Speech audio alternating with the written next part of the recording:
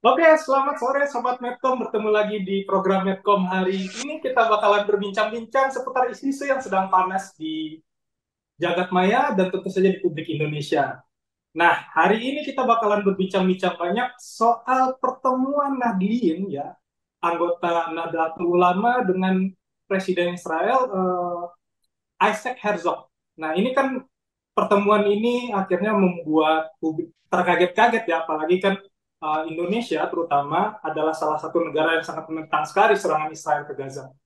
Nah, pertemuan lima anggota Nahdlatul Ulama ini dengan Presiden Israel membuat ramai banget jagat raya di Indonesia mulai dari publik maupun netizen akhirnya kan. Nah, Ketua PBNU Safik Ali menyesalkan pertemuan antara kelima lagi ini dengan Presiden Israel tersebut. Kunjungan ini dinilai sebagai tindakan yang tidak memahami geopolitik. Bahkan dibilang kita dengan keadaan yang di dunia internasional seperti apa. Nah, tak mengerti kebijakan NU secara organisasi serta perasaan seluruh warga NU. Nah, hari ini kita akan berbincang-bincang dengan Profesor Sudarnoto Abdul Hakim, Ketua Majelis Ulama Bidang Hubungan Luar Negeri dan Kerjasama Internasional seputar isu ini. Nah, selamat sore Profesor. Gimana Prof? Ya, sore. Selamat ya. sore. Sore yang menyenangkan. Ya, Prof, kita langsung mulai aja, Prof. Ini uh, isu ini okay. kan memang sangat menyita perhatian publik sekali ya, Prof. Nah, secara umum seperti apa sih tanggapan Majelis Ulama Indonesia terkait perjalanan kelima pemuda Nahdlatul Ulama ini ke Israel dan kemudian bertemu dengan Presiden Israel ya di tengah konflik Israel Palestina yang masih sangat sensitif isunya di Indonesia.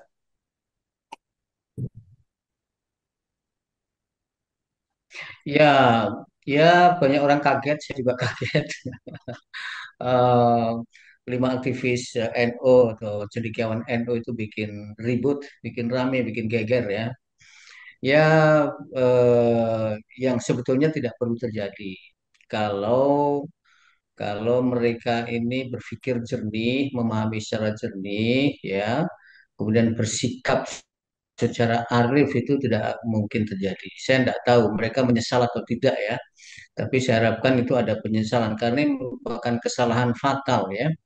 Pertama buat saya eh, atas nama MUI maupun pribadi saya ingin berpendapat mereka sepertinya tidak mengerti ya bukan sekedar geopolitik ya tadi sudah dibuat pengantar dengan sangat baik tidak mengerti di logika diplomasi mereka intelektual saya heran juga bagaimana mungkin ada pembicaraan-pembicaraan pertemuan-pertemuan diplomatik dengan tokoh penting di Israel seperti presiden eh, apa namanya hmm, antara orang Indonesia dengan dengan presiden eh, apa namanya Israel. Padahal Indonesia dengan Israel tidak ada hubungan diplomatik. Ini sudah dinyatakan eh, berkali-kali oleh presiden, oleh menteri luar negeri tidak ada hubungan diplomatik hubungan diplomatik Indonesia Israel sampai kemudian Israel menghentikan penjajahannya dan sampai kemudian Palestina itu merdeka. Sepanjang Israel masih menjajah sesuai dengan amanat UUD Mukodimah ya, UUD 45 eh, tidak akan pernah ada hubungan diplomatik. Menteri Luar Negeri saja, ini berkali-kali saya sampaikan di media, Menteri Luar Negeri saja yang pejuang sejati begitu nggak pernah kok. Ya, nggak pernah bertemu dengan tokoh-tokoh figur-figur penting di Israel dalam pertemuan-pertemuan apa namanya uh, yang mendiskusikan soal begini kecuali kalau kecuali di pertemuan-pertemuan multilateral di PBB misalnya tapi sengaja bertemu berdua melakukan pembicaraan bilateral Indonesia dengan Israel ketemu apalagi di sana itu tidak mungkin. Karena memang tidak di, di, diperkenankan dalam etika atau etika diplomasi kita nggak ada. Nah ini atas nama siapa, siapa mereka itu tidak jelas. Jelas sih mereka itu aktivis NU itu jelas pengurus NU itu jelas dosen dari UNU itu jelas. Tetapi apa tidak paham logika ini. Ini ini pengetahuan dasar saja sebetulnya. Nah, ini yang pertama. Yang kedua, seperti tadi yang disampaikan di pengantar, geopolitik. Kita perhatikan ya, ini perkembangan terakhir ini antara harapan dan cemas sebetulnya. Harapannya karena lebih dari dua per tiga anggota negara eh, Palestina merdeka. De facto. Tetapi de jure kan belum ya, harus melalui proses lagi di ICC kita sudah tahu keputusannya apa, eh, apa namanya eh, opini-opini yang disampaikan eh, disampaikan oleh banyak negara termasuk Indonesia untuk membuktikan apakah Israel melakukan okupasi dan genosida sudah dan sudah nyata sekali gitu loh. Nah, eh, bahkan proposal terakhir dari Amerika yang seperti kita ketahui untuk untuk permanen apa namanya permanen ceasefire itu ditolak mentah-mentah sama Israel yang sampai hari ini terus membunuh.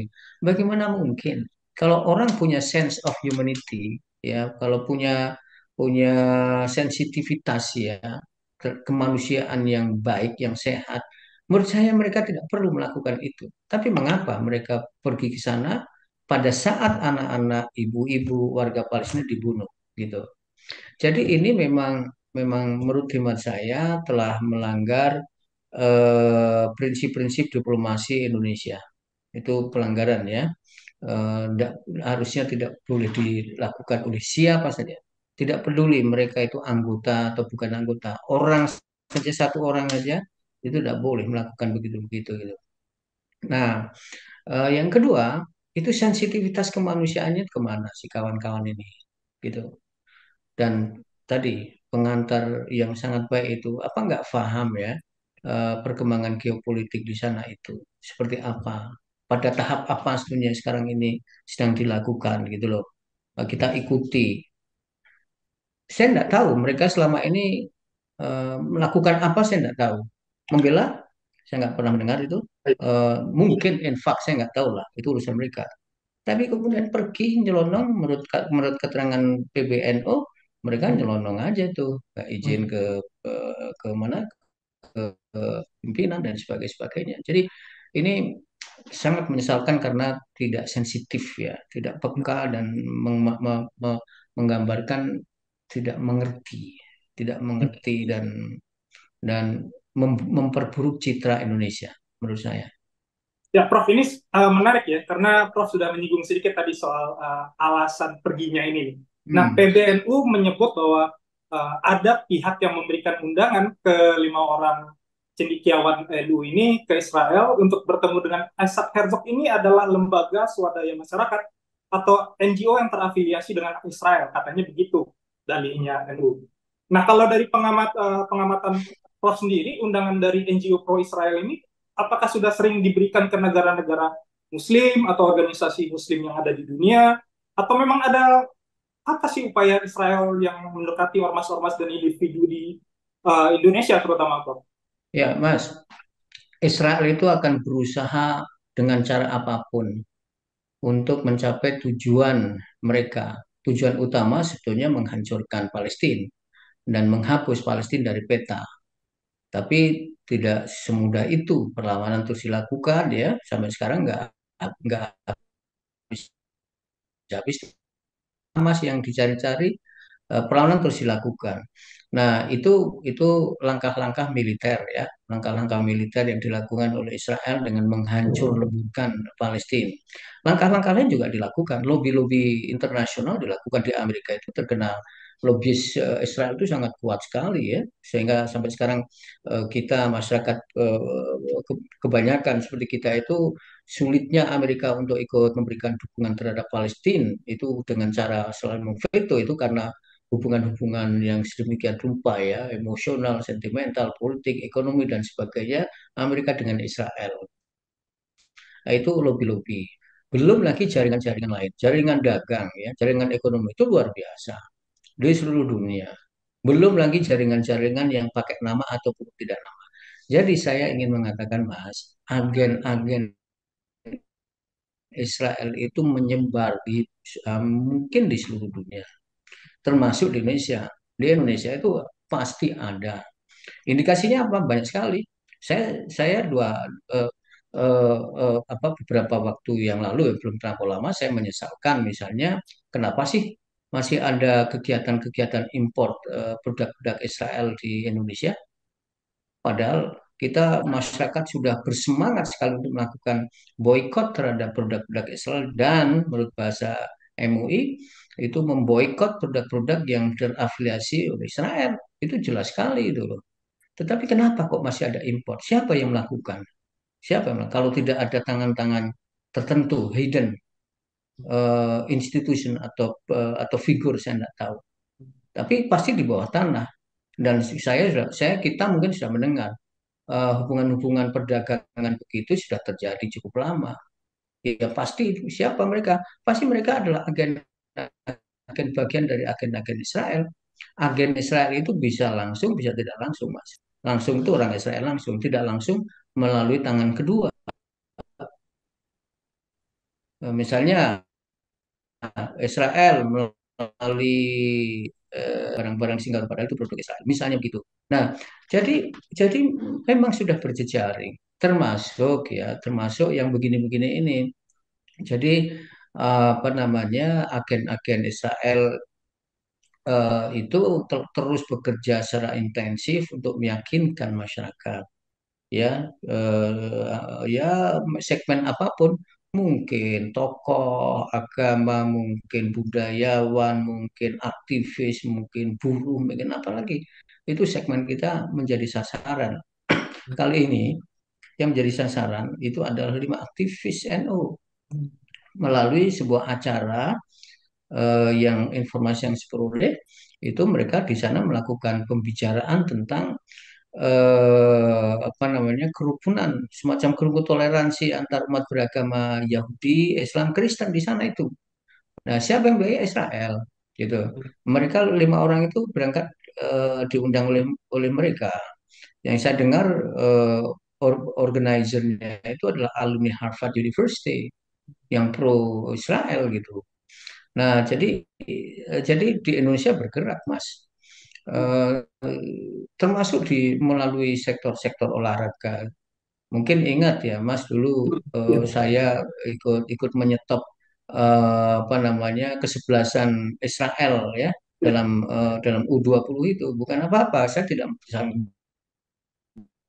bola, tapi mempersoalkan uh, apa namanya uh, apa namanya orang-orang Israel masuk karena kita tidak punya hubungan diplomatik. Nah, jadi menurut hemat saya itu terus bekerja.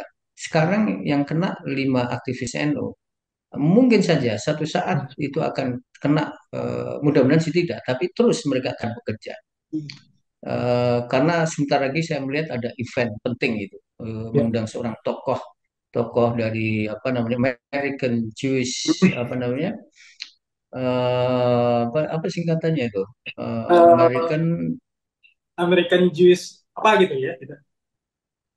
Ya ya ya ya itu itu itu Zionistik itu uh. Zionistik itu dan Prof, itu bekerja ke, di Indonesia gitu loh. Sebenarnya kalau lima orang ini kan beralasan bahwa mereka itu pergi tidak tahu kalau akan bertemu dengan Presiden Israel atau bisa dibilang uh, organisasi yang terafiliasi dengan Israel. Karena pertemuan itu tidak ada dalam agenda perjalanan mereka. Ini alasan ini bisa diterima uh, profesor nah. dan masyarakat nggak sebenarnya? Ya, nah, nah, nah. Kecuali orang bodoh. nah, mereka itu... cendekiawan loh, Mas. Oh, mereka cendekiawan, mereka aktivis, tahulah logika cara bekerja organisasi itu tahulah. Hmm. Ya, dosen lagi, ya kan? Hmm. Nggak mungkin lah. Anak kecil, mohon maaf saya menggunakan istilah bodoh ya. Anak kecil yang, yang bisa digituin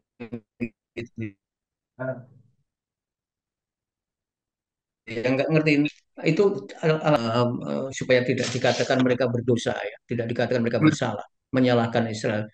Tanpa mereka kita selalu menyalahkan Israel. Ngapain pakai begitu-begitu? Ya kan? karena memang Israel telah melakukan kesalahan besar, dosa besar. Enggak usah berhelat di bawah ke di bawah ke dosa-dosa Israel. ini ini personal choice kok. Loh, Mas, itu panitianya itu agen itu menghubungi secara pribadi ya. Okay. Agen itu pasti ada ngobrol lah. Ya, ada ngobrol kayak kita sekarang ini. Masa nggak kritis? Apalagi ada kata-kata Israel lagi, pergi ke Israel. Itu kalau itu tidak dilakukan oleh mereka-mereka yang ingin ingin melakukan apa petualangan. ya. Nah, Hmm. saya kira ini bagian dari petualangan mereka, tapi tapi petualangan mereka itu anu apa namanya tidak terhormat lah, tidak terhormat.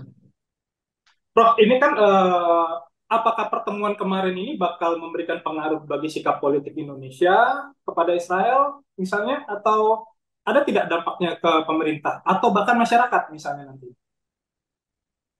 Kalau pemerintah eh, sampai hari ini melihat sikap kebijakan pemerintah, menurut saya tidak tidak akan terpengaruh ya. Saya berharap pemerintah ke depan siapa pun menteri luar negerinya tidak akan terpengaruh oleh isu Syambu ini. Tetap kekeh, tetap istiqomah, tetap konsisten dengan pendiriannya membela Palestina dan tidak akan membuka hubungan diplomatik dengan Israel. Menurut saya kekeh. Cuma di masyarakat ini, Mas, masyarakat kita ini kan beragam. Yang pinter saja, cendekiawan aktif saja itu tadi pengakuannya di, di, di, dikibulin, Dijebak gitu bahasanya Prof ya. dijebak. Nah, bayangin, bayangin Mas, kalau seandainya ada program-program kemanusiaan ya, mereka kan biasa melakukan begitu. Program-program kemanusiaan atas nama kemanusiaan, atas nama agama, atas nama persaudaraan antar agama ya. Mulia kan itu, tapi kemudian yang mengelola mereka dan dibawa ke Israel gitu loh. ketemu dengan tokoh-tokoh mereka, berdialog dengan mereka seperti yang dilakukan oleh lima aktivis itu, atau nggak usah dialog dengan siapa pun, orang-orang miskin, orang-orang ya sederhana ya, eh, dis- apa namanya dibawa ke Israel atas nama kemanusiaan, atas nama persahabatan budaya dan sebagainya, atau anak-anak muda ya, eh, milih apa namanya eh, teenagers dibawa ke sana, kemudian dibawa ke tempat-tempat yang eh, tempat-tempat wisata dan sebagainya dijamu semacam nggak ada apa nggak ada acara-acara gitu tapi kan difoto Hmm. difoto apa narasi yang dikembangkan? Pastilah. Pasti ya. Eh, narasi yang dibangun oleh media di Israel inilah. Ya. Indonesia sudah membuka diri untuk bersahabat dengan Israel dan berarti Indonesia telah memberikan simpati kepada Israel yang diserang oleh Hamas. Eh, gitu loh. Itu narasinya. Jadi siapa saja akan ter- bisa terkena oleh oleh bujukan, oleh ajakan ap- apa Israel dengan berbagai kegiatan-kegiatan yang kelihatannya menarik. Nah, ini ini makanya makanya menurut hemat saya sekarang itu kita harus waspada terhadap agen-agen Israel di Indonesia. Nah, tema hari ini bisa disebut juga ini pembicaraan tentang kewaspadaan kita terhadap agen-agen Israel di Indonesia karena mereka terus bergerak gitu. Pakai organi nama organisasi atau tidak pakai nama. Nah, ini pertanyaan terakhir, eh, Prof, Ya, untuk eh, sebagai profesor juga ketua MUI ya. Ini ya. PBNU kan sudah minta maaf atas tindakan cendikiawan NU ini. Nah, menurut MUI, apakah PBNU perlu memberikan saksi kepada kelima tokoh yang sudah eh, datang ke Israel ini? Ya, begini. Eh, saya awal-awal sih minta yang bersangkutan itu gentleman, berani bertanggung jawab, seperti mereka berani ketemu Presiden ya, apa eh, Israel, berani bertanggung jawab kepada masyarakat. Masyarakat sudah sangat kecewa. Tadi pagi saya dengan El Sinta banyak pertanyaan yang menunjukkan kekecewaan mereka kepada eh, lima orang ini, dan saya kira kita semua melihat sentimen itu muncul ya. Jadi, kalau mereka mau gentleman, berniat baik, tulus, bicaralah dengan masyarakat. Minta maaf kepada masyarakat. Kemudian mengakui kesalahannya. Gitu loh. Nah, mestinya gitu. Tapi mohon maaf, saya kok sampai sore ini, sampai kita dialog sore ini, saya belum pernah mendengar mereka bicara di depan publik. Ya, nggak pernah mendengar. Malah yang minta maaf Ketua Umum PBNU. Coba bayangkan. yaitu hak-hak ketua umum PBNU ya. Jangan sampai juga lima orang ini eh, berpikir ya karena ketua umum PBNU sudah minta maaf, ya sudah kita nggak perlu minta maaf. Tidak bisa. Itu itu apa yang dilakukan oleh ketua umum PBNU eh, Gus Yahya itu adalah kewajiban moral, etika organisasi yang mesti harus karena namanya disebut-sebut meskipun dia dia sebut juga mereka mereka pergi tidak izin gitu loh. Tapi ya mohon maaf itu saya kira baik. Tapi jangan bersembunyi di balik permintaan maaf. Eh, Gus Yahya kemudian mereka melalang dengan enak gitu loh. Ini yang pertama. Mereka harus menurut saya eh, menurut saya eh, kalau mau bersih diri ya berniat baik ya, itu mereka minta maaf. Yang kedua, itu tentu saya tidak ingin masuk ya ke ke uh, urusan internal PBNU itu uh, setiap organisasi itu punya mekanisme ya, mekanisme untuk menyelesaikan persoalan-persoalan termasuk ya tadi itu pelanggaran-pelanggaran yang dilakukan oleh pengurus lagi atau oleh anggota apa pengurus PBN atau mungkin oleh anggota itu tentu eh, tentu akan diserahkan kepada pimpinan. Mungkin mungkin PBN juga tidak akan mengundang semua anggota kan. Mungkin juga beberapa orang pimpinan tera, pimpinan tertentu dan mereka kan PBN kan sudah membuat apa namanya pers rilis kemarin ya, jumpa pers ya. Dan katanya akan terus dilakukan upaya-upaya langkah-langkah berikutnya terkait dengan lima orang organisasi lima aktivis ini. Um, ya menurut saya menurut saya itu ya itu uh, itu itu uh, urusannya. Urusan saya yaitu dia mestinya harus mau gentle gitulah lain baik Ya, terima ya, kasih gitu, banyak mas, Profesor kira. sudah berbincang-bincang dengan kita di Medcom hari siap. ini uh, seputar isu yang siap, siap. panas dan membuat banyak titik berang gitu Profesor ya. Ya, ya, ya terima ya. kasih Profesor Sudarno Abdul Hakim, Ketua Majelis Ulama Indonesia bidang hubungan luar negeri dan kerjasama internasional uh, sudah datang dan berbincang banyak dengan kita di Medcom hari ini.